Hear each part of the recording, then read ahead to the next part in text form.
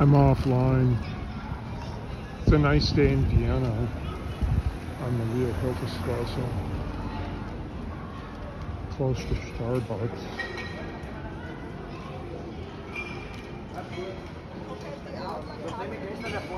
And McDonald's probably.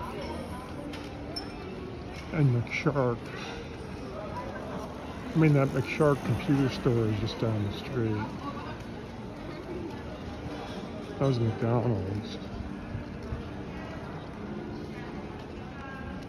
That's Starbucks.